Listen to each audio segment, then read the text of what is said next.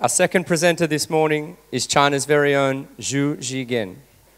Zhu is the primary coach for some of China's best swimmers Sun Yang, Wang Shan, Wu Ping, and Yang Yu.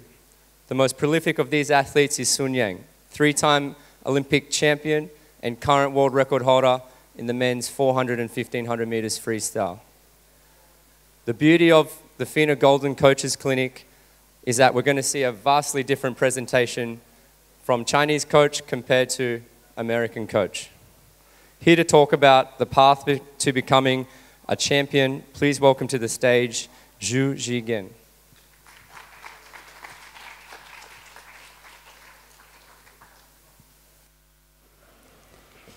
各位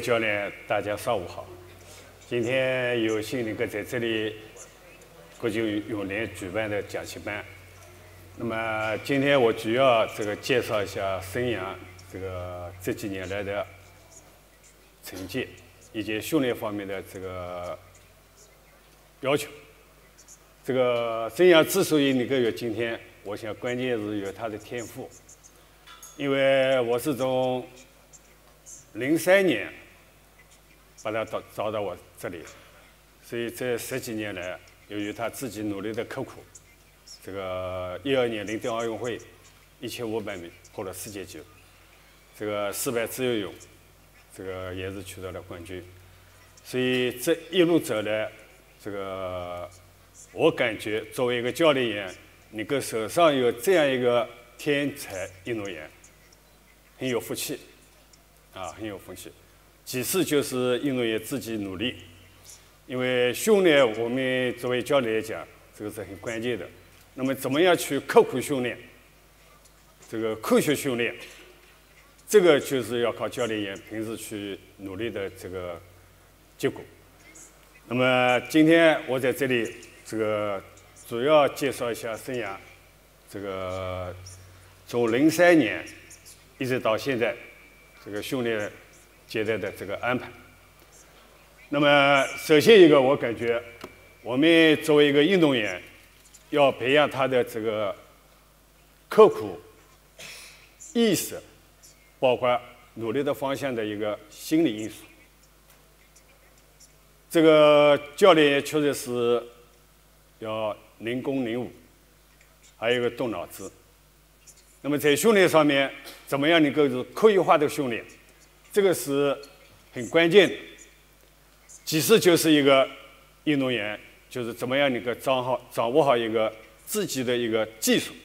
这个技术，那么作为中长距离运动来讲，就是一个平衡度。这个孙杨从零三年到我这里的是一米五十几，因为他预测高度可以达到两米。所以他的协调性，包括他的敏感性，包括他的灵活性，都是很差的，啊，都是很差的。最重要的就是个平衡度。我们自由运动员如果掌握不好平衡度，很难去提高成绩，啊，很难提高成绩。因为平衡度，自由泳跟仰泳是同样的技术，啊，同样的技术。如果技术掌控好了，平衡度掌控好了，他的前途基本上都还可以的。我们经常有的教练也要求运动员在水平面上要一个平衡，啊，要一个平衡。怎么样一个平衡？那就是我们有的运动员，尤其是小孩，有的时候往往是这样子，对吧？这个腰没有力，啊，腰没有力，尤其呢，我们叫塌方的，对吧？塌方的。所以这一点，包括我们仰泳运动员，尤其是这样做的，对吧？尤其就是这样曲线做的，没有这种挺直的，啊，没有这种挺直的。所以这一点，我想我们作为一个教练，要把自由游好，首先一个就是要有聪明的技术，去掌握好平衡，啊，掌握好平衡。第二个就是逐步的在掌控训练过程当中，怎么样能够去提高成绩。这个提高成绩，那就是我们在平时训练当中强度的要求，啊，强度的要求。那么小孩，我们尽量还是少吃一点乳酸，多做一点技术，包括四种姿势的训练练习，包括这种手腿的练习，这个是很关键的。如果我们过小的运动员去提高他的乳酸，比如要求几个毫摩尔、几个毫摩尔多少成绩，我想这个是不可能的，啊，不可能的。那么我们作为一个专业的或者是有水平的运动员，尽量能够去得到你所想象的，去掌控好你所掌握的乳酸这个训练练习。所以这一点，我们就在生涯这个从零三年开始，那我们首先一个基础训练。什么叫基础训练？而不是说以大大量的训练。那么我们就是以四四种姿势的技术要求。就是蝶泳、仰泳、蛙泳、自由泳这种训练方法来提高他的有氧能力，包括来提高他的基础练习。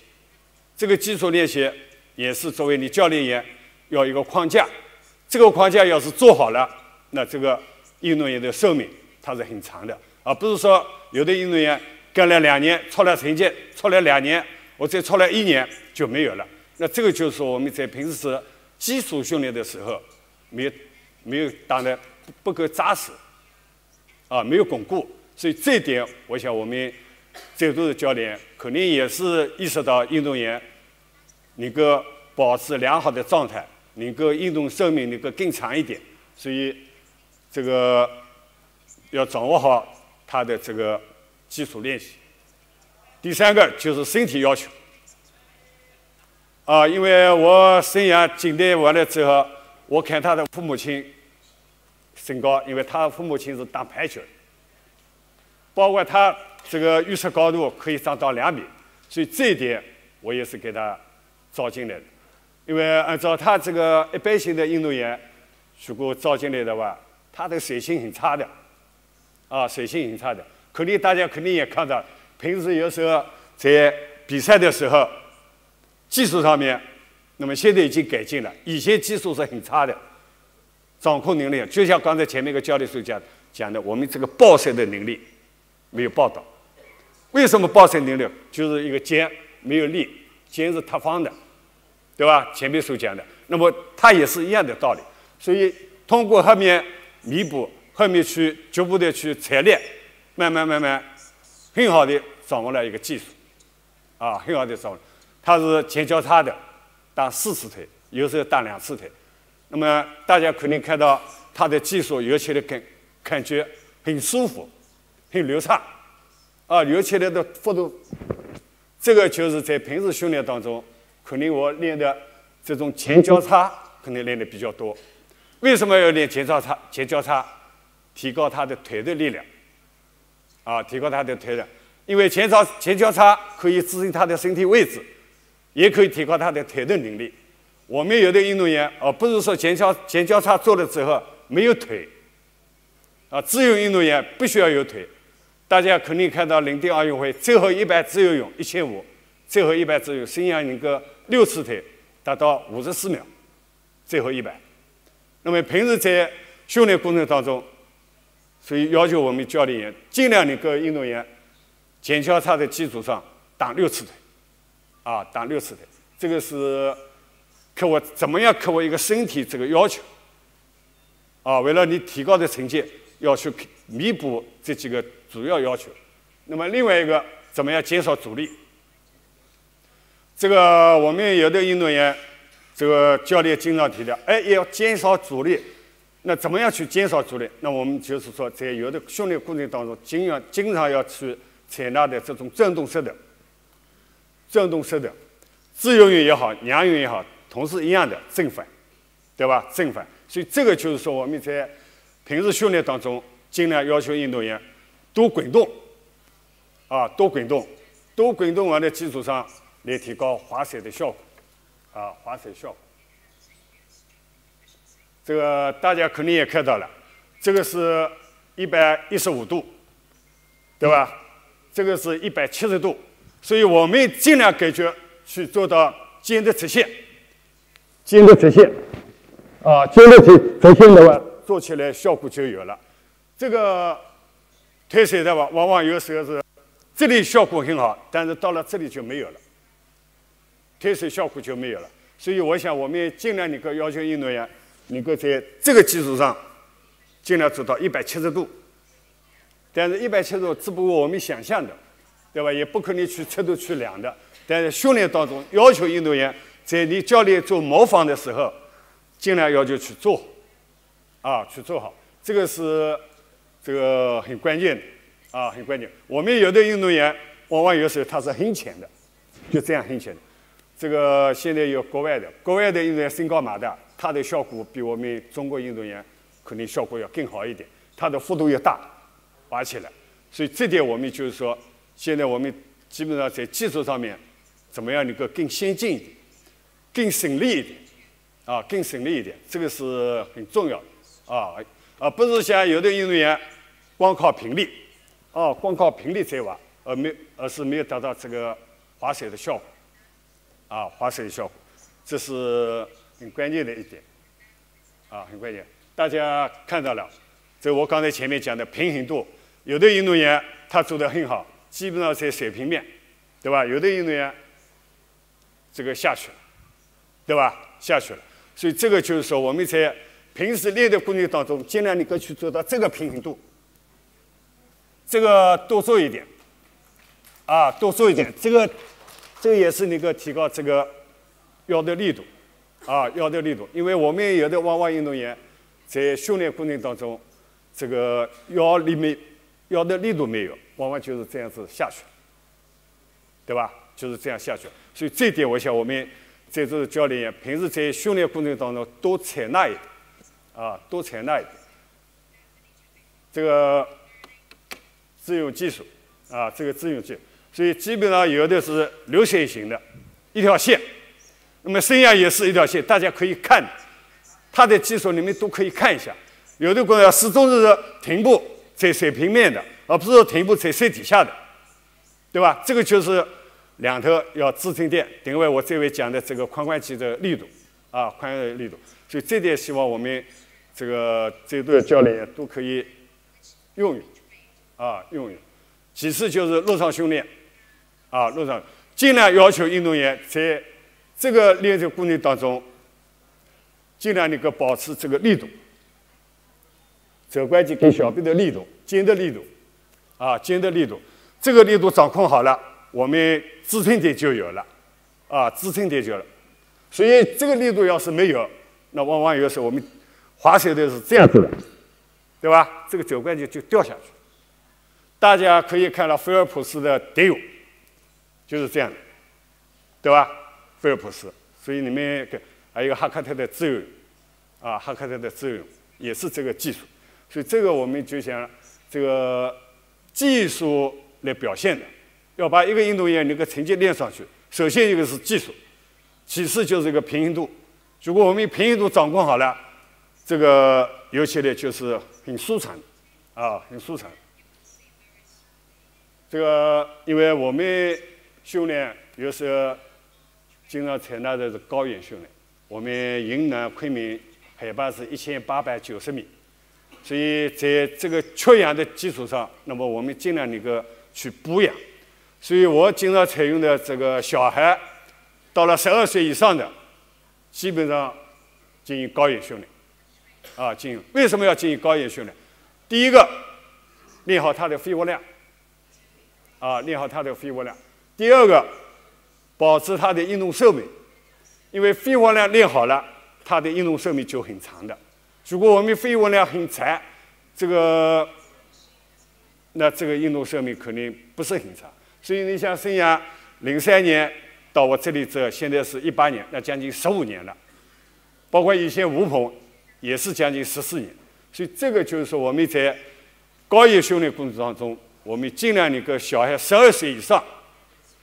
去练，效果会更好，啊，效果。但是你不要保证我高原去训练，意味着就是要提高成绩，不要去这个理解。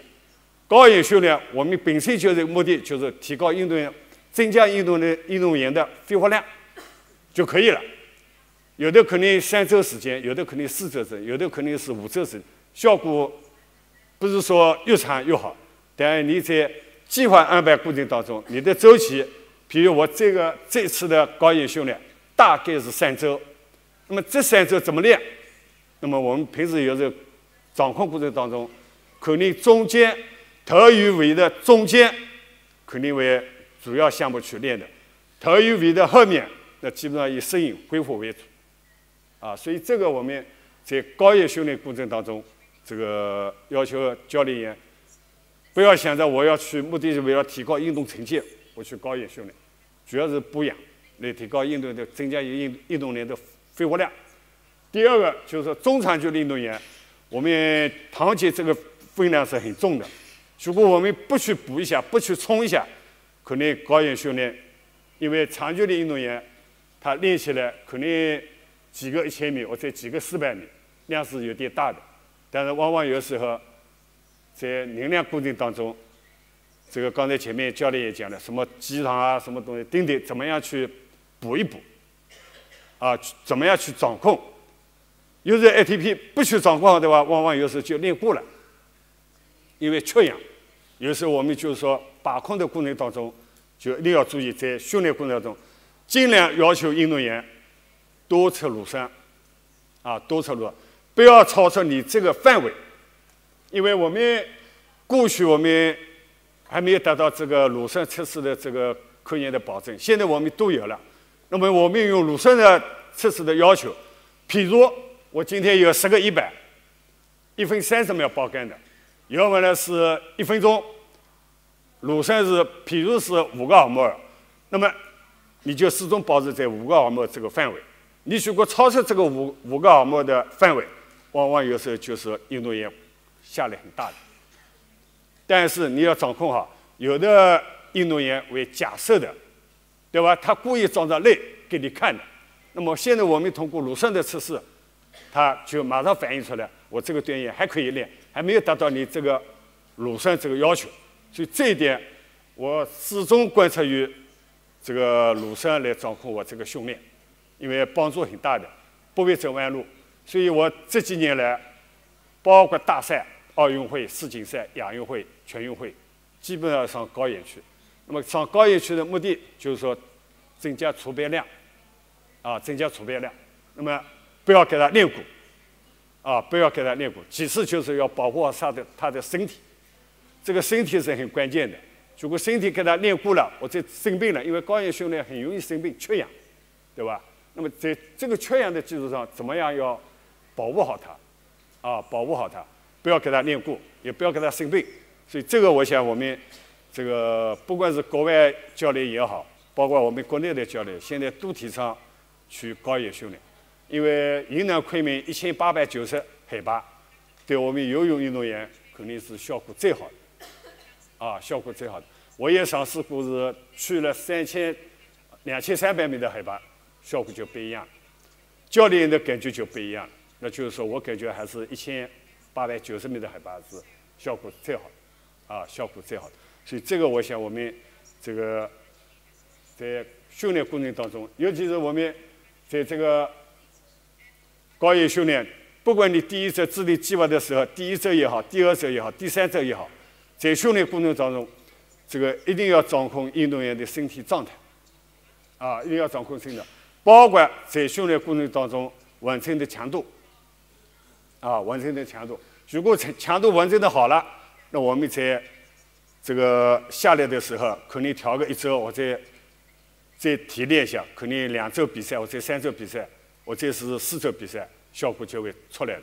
那我现在通过这几二十二十年二十年来，每年至少保持两次的高原训练，最后我的结论是下山一周。比赛效果是最好，因为为什么？运动员的机器还在运作，他的机械还在转动。如果我们下山三周或者四周再去比赛，你高原训练这个能量基本上已经没有了，啊，基本上已经没有没有了。所以我这个以前也发发表过一篇文章，就是高原训练，这个我感觉下山一周是效果最好，你们可以试一下，啊，可以试一下。尤其是你们可以感觉高野区运动员，他下下山一周完了之后，完成训练强度，他是很高的，你想象不到的，对吧？他游起来感觉我这个血管也好，气管也好，很舒服，很流畅，对吧？包括我们教练给他的要求，他基本上百分之一百能完成，啊，基本上百分之一百能完成。所以我们这一点就是说，我们在训练过程当中，尽量能够要掌控好他的心态，啊，掌控好他的成绩。那么最好的掌控就是以鲁胜为主，啊，以鲁胜为主，也不要达到高一训练，不要达到十四毫米而且是十二、十三毫米，接近于你比赛这个要求，可能往往有时候你下来的时候很疲惫，啊，下山的很疲惫。所以这个我想，这个我们在训练过程中，因为现在大家不管是国外也好，包括我们中国也好，对高原训练大家现在是很认可，啊，很认可。尤其我们现在国家队，啊，每个组基本上都去高原训练，啊，都去高原训练。所以这个，这个就是我们在训练过程当中，我给他写了写的：训练不能造就完美，但是完美也不能表达出这个训练的完美。这个什么意思呢？我们有时候在训练过程当中，往往有时候达到你所想象成绩的时候，哎，你感觉这个运动员训练很很努力，对吧？很努力。有时候我感觉已经可以了，是不是？但是我感觉就是说，后面这句话，那么怎么样能够去造就这个完美？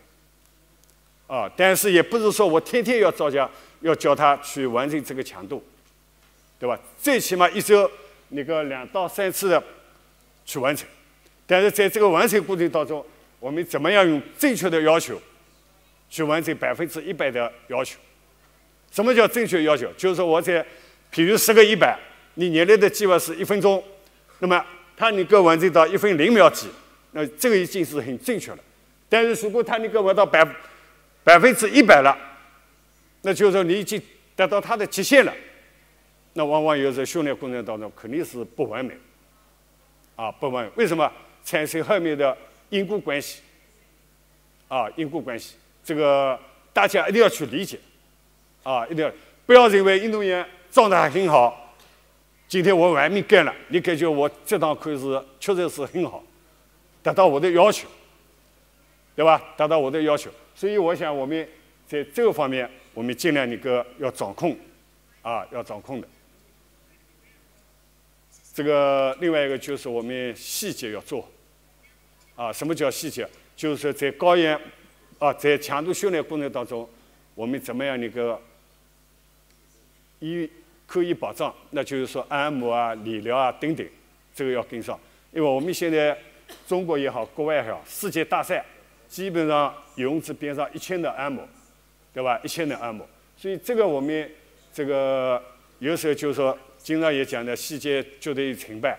我们细节做好了，这个肯定你成功了。你如果细节没有做好，往往有时候也是失败，啊，也是失败。这这个我前面所讲的。那么就是说，我们在这个细节做的基础上，我们有时候在比赛的时候，就是说出发、转身，包括道边，啊，包括转身前五米、道边前五米，我们现在这个确实是这方面，我们教练员肯定不够重视，啊，不够重视。这个为什么我们这次亚运会？啊，我们有有有几个项目，这个日本日本队运动员转身要比我们强，所以我们这个就是说我们在这个转身也好，倒边也好，出发也好，我们很习惯的，一个出发出去，第一下就吸气了，一个转身前面还要吸两口气，一个倒边五米还要吸两到三口气，有的很习惯的，啪啪啪啪啪啪这样转身前。对吧？还要多加几个转身，这个就是增加了你阻力了，对吧？原来我要是不呼吸，他动作很习很习惯的这样过来，对吧？就这样很过来。那么他到边五米之前还要多多做几个动作，所以这个我们在平时训练的时候，尽量你过去要求运动员要去做好，因为现在我们在对这个出发转身啊，包括道边，我们现在国家队也很重视。啊，也很重视。现在给给每个队员，基本上给他拍点技术，给队员看一下，看看你的转身，看看你的出发，是不是？我们有的出发就是下去了就起来了，而不是说水底下这个这个柔韧性的挡腿，我们有的时候往往就是没有，对吧？因为水底下的速度要比你上面游的速度要快，对吧？要快。所以你大家看了零八年北京奥运会，菲尔普斯一百蝶泳，到边人家一看都是那个那个谁啊，这个南非的还是快的，结果一到边出来还是菲尔普斯快，是不是？大家肯定水底下看到，一个是水底下的，一个是上上面到，所以有的时候往往就是说吃亏就是零点零几，是不是？零点零几。所以这个我们就是说，在平时做的时候，这个细节我们一定要去做好，对吧？又是从小开始，要养成这个习惯，啊，养成这，养养养成这个习惯。那么，我现在手上还有一个孙杨跟王胜，那么基本上，这个我的经验就是说，在比赛的时候。或者是平时训练的时候，肯定现在我们也不是说要大练，我们现在也是采用精益求精，啊，精益求精，尽量能够达到你所想象想象中的要求。因为过去我们是大运动量训练，啊，大运动量训练。那么现在我们基本上都是运动量，你譬如我现在带中长距离的，但运动量也不是很大的，一堂课也最大也只有六千五，对吧？六千五。但是，只要你达到你想象中的这个要求就可以了，而不是说以量为来代表，啊，以量来代表。我们尽量能够以你所完成的强度来代表你今天这一堂课的训练，啊，来来代表这一堂课的训练。所以这个，那生涯通过零三年完了开始，到零九年开始，慢慢开始出来，啊，慢慢开始出来。这个罗马世锦赛。一千五第三名，广州亚运会冠军，二零一一年上海世锦赛打破世界纪录，十五分三十三三十四秒几，这个伦敦奥运会，啊十四分三三十一秒零二，所以这个就是说我们在平时训练当中，就是说通过比赛来对照一下我这个训练是不是在这个系统里面，这个框架里面是不是达到你所想象中的效果，这个是很关键的。啊，这个是很关键。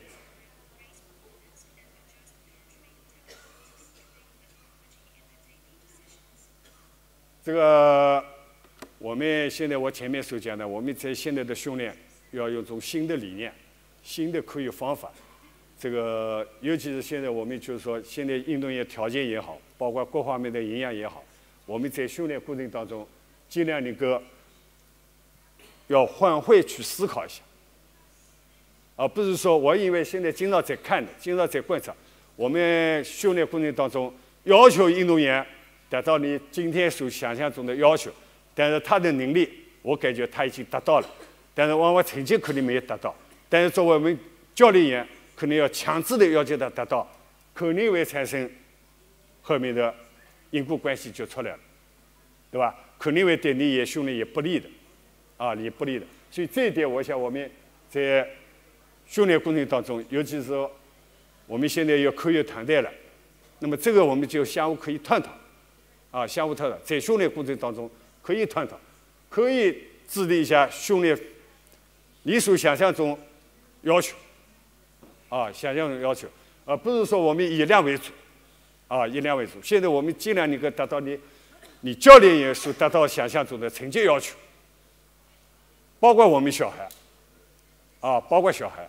因为现在各方面的营养也好，补助也好都有了，不是像过去我们吃不饱的，那么光靠运动量在在弥补的，所以这点我们就说这个思路要给它改变过，而不是说我今天练了一万二，对吧？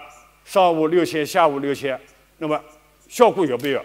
我感觉肯定是没有，对吧？肯定没有。那么我们如果那个达到你想想象中的要求，短距离。不一定要有大练，因为我上次去美国，这个密歇根大学，看他们的短距离的运动训练，这个运动量不是很大，两三千，但是他以力量为主，啊，力量为主，而且效果也很好。所以我们经常讲的，周边的多观察一下，多看一看，多学一学，效果就就有了。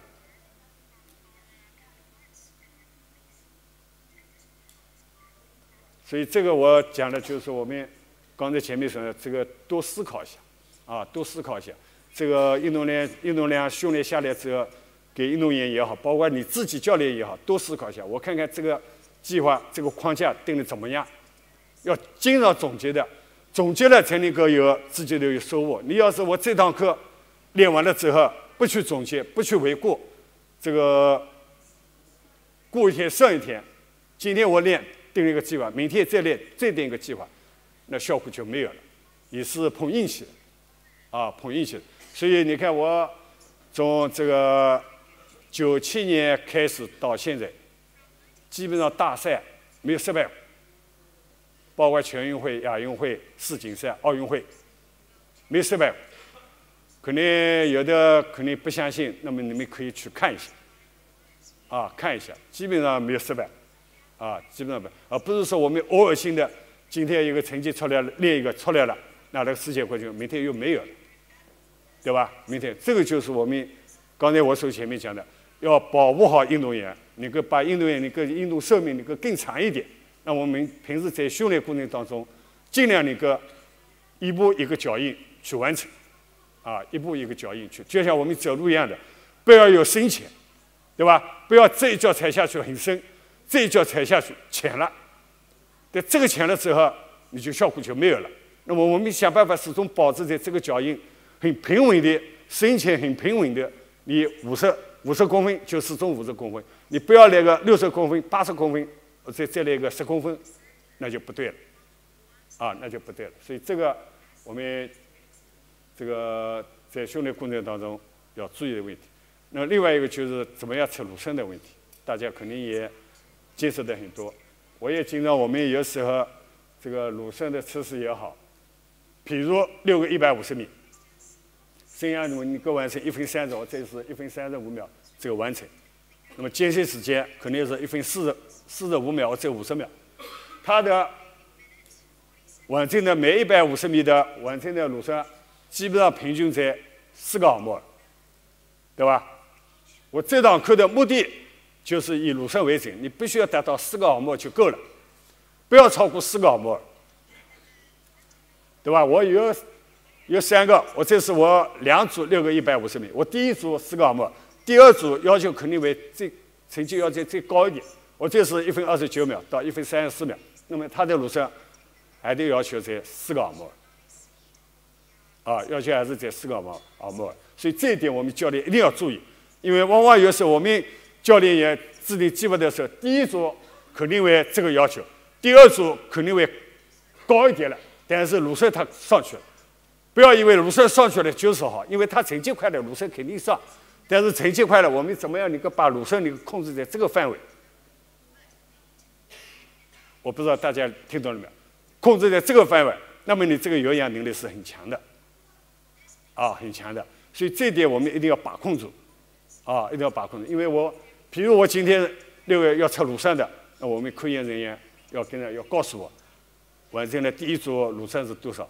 那么我们再测第二组，第二组那么要求成绩肯定会高一点，那么想办法就是说，这个乳酸还是在这四个毫摩尔这个范围，啊这个范围，所以我想我们这一点应该教练也应该头脑一定要清楚，啊而不是说我成绩提高了，乳酸也高了越好，对不对？那肯定是越好，是不是？但是你不要进行这个比赛的乳酸，啊进行比赛的乳酸。所以这个，我想我们这个在训练过程当中一定要注意的，啊，一定要注意的。因为我经常有时候，比如这个一百米的间歇，十个一百间歇，比如才一分，刚才我所讲的，那在他的路上基本上都能够达到这个要求，啊，这个要求，这个就够了，对吧？这个就够了，这样就不会练过，啊，不会练过。那么另外一个我所讲的，我刚才前面所讲的这个问题，就我们在练力量的时候，啊，练体能的时候，游泳运动员背部这个腰部这这一块也是很重要的，对吧？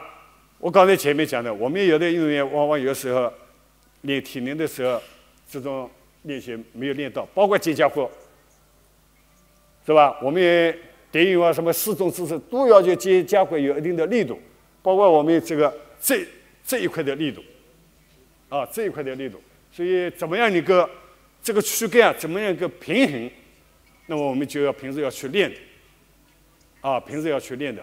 这个，因为我现在手上也有混合运动员，也有自由运动员，所以这个练起来就是说我们在练的过程当中一定要掌控这个问题，啊，掌控。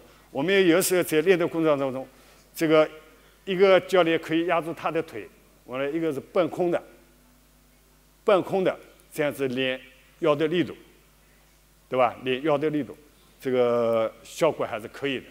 那么，如果力量不够，再可以加点杠铃片、杠铃片，啊，杠铃片。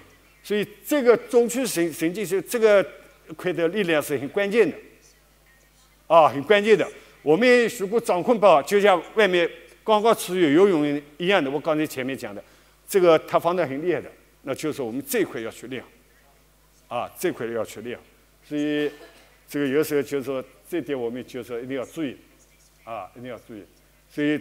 经常讲的是核心力量很关键的，啊，核心力量很关键的。如果掌控好的话，它的流水性流起来很很好的，啊，很好的，所以还能够保持它稳定性，对吧？还还是保持它的稳定性。这个这个这个我们在平时训练当中经常要去采纳，啊，经常要去采纳。这个你看自由泳跟仰泳一定要掌控好这个平衡度，啊，平衡度这个要求。啊，这个要，因为这个躯干神经，我们有时候经常讲的，这个很关键的。这个，我记得好像温老师以前有篇文章也是，我们游泳运动员练的这块练的不够，只注重了这个力度，还有这个单腿的力度，这个忽视了这个力度，啊，忽视了这个力力度，所以我们这个。我这段时间只有自己在游泳，我在体会的。我要是这样抬下去，游起来哇塞就不一样了。我要是平衡了，哎，感觉好像很轻，对吧？很轻，尤其感觉好像很走，对吧？感觉很走。所以这个我我想我们这这个中区中区神经系统系统如果练得好的话，肯定对运动员有很大的帮助，啊，有很大的帮助。所以这个我想我们。这个平时训练的时候，因为这这个腰肌啊，这个这块肌啊，这个很关键的，对吧？我们有时候包括运动员有有的运动员肩胛骨，我有个运动员肩胛骨可以这样一弄，可以这一张纸啊，可以掐掐住的，这样这两边的肩胛骨力度，对吧？所以这个有了这个力度了，你不光是顶泳也好，你还有、蛙泳也好。这个游起来就有劲，啊，游起来就有劲了。所以这个我想我们这个教练员有时候可以可以练，啊，可以练。因为另外一个就是我们关节的问题。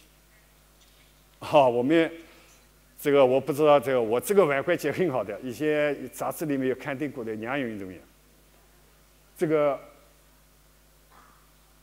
这个单腿平时我们有的单腿粗头的，对吧？这样勾在那边单腿，所以我们练这个腕关节的时候，有时候经常运动员能够跪着，对吧？这个跪着这样坐着，因为这个是很关键的，啊，很关。你要提高水平，你要运动员能够游得快，那这个力度一定要去加，啊，一定要去努力去动动脑子。我们有时候经常有时候给他压一下，对吧？压也可以，以后也可以这样，自己可以这样跪，这样跪跪肯定经常效果会出来，对吧？跪一跪，那么提高他的脚腕的力度，啊，脚腕的，因为现在小孩脚腕很硬的，是不是很硬的？所以这个在单腿工作都是一个阻力，对吧？你要想把成绩提高，你这个阻力在，你提高不了。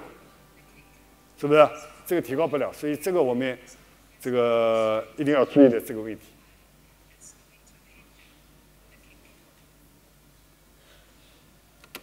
这个大家看到这个自由泳啊，这前面我讲的这个自由一定要提起来的，但是他呢这个肘关节提的太高了，到最后是空的，腿水是空的，对吧？腿水是空的。这个这个蛙泳，你看我这个旺盛的蛙泳。过去的蛙泳，那么现在通过这个世界杯系列赛跟我们郑教练、颜志贝一起比一比、学一学，去了美国训练，技术有很大的改进，啊，而不是说这个你看太高了，对吧？这个有的可能正好要水平面，但有的太高了，往往我们有的运动员都是这样的，对吧？可能效果不见得怎么好。我们可以运动员可以试一试，但往往可能跟水平面平行伸出去，肯定效果就有了。啊，效果就有这个我们就是说，这个通过跟颜值杯练了之后，回来给我讲效果很好，啊，效果。所以这次在日本。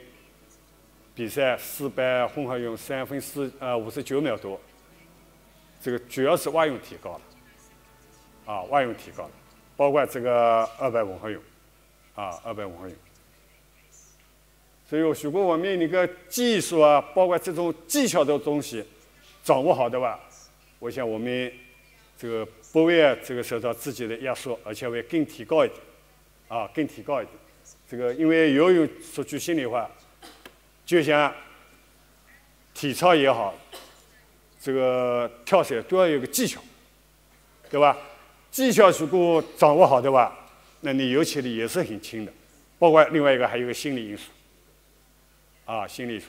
所以我们有时候平时练得很好，但一到比赛，他的心理过度紧张，达不到你想象中的比赛竞争要求，那肯定运动员、教练肯定要骂运动员。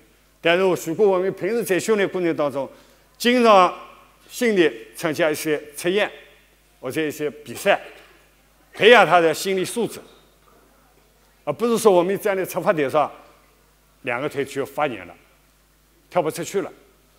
那这个就是我们缺少平时在训练过程当中，这个测试赛也好，比赛也好，就缺少了。所以我们平时要是能够多一点的话。培养他的心理因素，效果就有了，啊，效果就有了。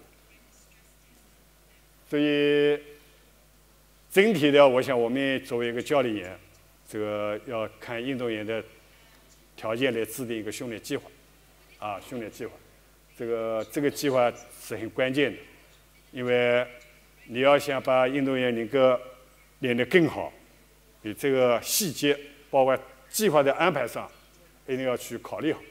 啊，一定要去考虑好，因为训练有时候是以成绩来表现的，以成绩来提高的。你如果我这个周期里面成绩没有提高，那你说明你这个计划里面肯定有问题，对吧？肯定有问题。所以这个没有把他的最佳的状态发挥出来，也就是把他的潜在能力没有发挥出来，那这个教练也很遗憾的，是不是？有时候经常讲，我平时练得很好，为什么比赛你个比不出来？肯定就是缺少这一点，啊，缺少这。我们如果多多在出发点上面跳跳、听听枪声，肯定运动员他的心态就会做得更好，啊，做得更好。所以这个我讲，我们赛前赛前的把控很关键，啊，赛前的把控很关键的。我们平时磨练得很好，对吧？往往有时候看比赛的。但是，要是我们赛前如果没有掌控好，练过了，或者没有练到位，或者不敢练，那这个就是火候的问题。过去我们在心里面我也经常讲的，这个火候把控不了，往往就是很遗憾，对吧？这个我们现在柴火没有了，农村里面有柴火烧米饭的，我经常比喻的，这个我们这锅米饭，我这个火燃的是很好的。很烧了很平稳的，结果一看米饭还没有煮熟，是不是？我想再弄根柴火，再给它放一根进去，结果完了，这个柴火忘了，一忘了，这个米饭就要糊掉了，一糊掉了，你这个比赛肯定不行，对吧？所以这个把控很关键。所以为什么我这么多年下来了，能够在全国比赛、国际比赛什么都能够发挥自运动员的应有水平，那就是说要把控好。啊，要把控好，因为平时呢都是很好练的，是不是？赛前的三周，我在四周，我要是练过了，我这没有练到，或者我感觉可以了，那就是说你自己要去思考一下，是不是达到会达到你想象中的要求。所以，我们以这个比如来掌控运动员，啊，掌控运动员。这个尤其是我们年轻教练员，往往有时候心血来潮，有时候运动员赛前呢运动量小了，他状态很好，很有激情，比如要十个一百，我本来我这个十个一百就可以了，游完了我就可以结束了，结果他感觉还没练到位，我想再游游个几个，结果这一游，往往就是坏了，过了，对吧？一过了之后，你再去调整，那就完了，马上比赛了，所以这个就是我们。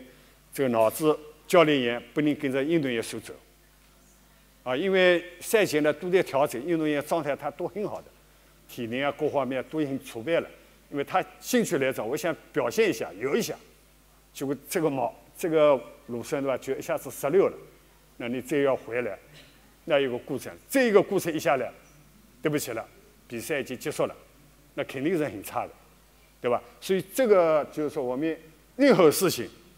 办一样事情，就是一定要考虑好，就是我拿这瓶矿泉水，怎么去拿？我还是这样竖着拿，还是我横着拿，还是我手指这样这样子去拿？那一般很普遍的，我是这样去拿，对吧？我就够了，可以了。这瓶水我肯定拿回来了。如果我这样去拿，对不起了，我又要转过来，这一转过来，这个时间又长了，对吧？这个时间又长。一长的话，那么你这个比赛就到了，到了运动员的体力还没恢复过来，所以我们正确的掌控好赛前这个要求，你一定要注意一下，啊，一定要，尤其是我们教练员，不要太心血来潮，有时候运动员他也有激情，对吧？有激情，我经常有时候往生也好，孙杨也好，他有时候调整的，他知道我这里有一个要不要，我就就不用有了，够了，对吧？够了，就得到效果就够了。你如果认为听着运动员走啊，那再来一个，再来一个，坏掉。所以这个，我想我们教练员在把控的时候一定要注意，啊，一定要注意。这个不然的话，你前面练白练了，对不对？本身就是为了比赛，你一练过了，那怎么调节的？就像我们吃饭一样，吃了很饱，消化很难的，你一个晚上睡不着，是吧？我吃的正好，晚上睡觉很舒服。是不是？所以这个，我想我们这个在座的教练可以这个好好的去思考一下，啊，好好的思考，因为我呢水平有限，这个也是我们现在也是在备战东京奥运会，我们也想我们这一组那个孙杨也好，汪生也好，能够在东京奥奥运会上能够有更好的表现。那尤其是高水平的运动员，一定要注意，不要太冒险。对吧？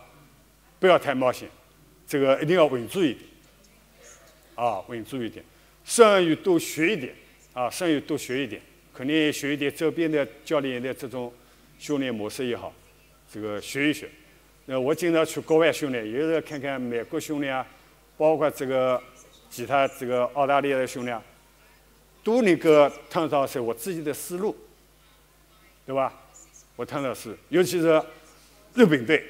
大家也看到，日本队为什么技术能够这么好？出发展示细节做的这么好，我们有这位给他们在弄拍技术，对吧？技术拍的很好，很专业的。你要看，马上就给你看；你要拍，马上给你拍。拍的时候你去对照。所以我们国家队也正在研究这个问题，怎么样能够去在我们细节上面，怎么样能够去再巩固一点、再改进一点、再提高一点。所以我想，这个我们中国的啊，那个中国游泳那个东京奥运会那个剑指东京，能够取得好的成绩。这个谢谢大家，耽误了你们宝贵的时间。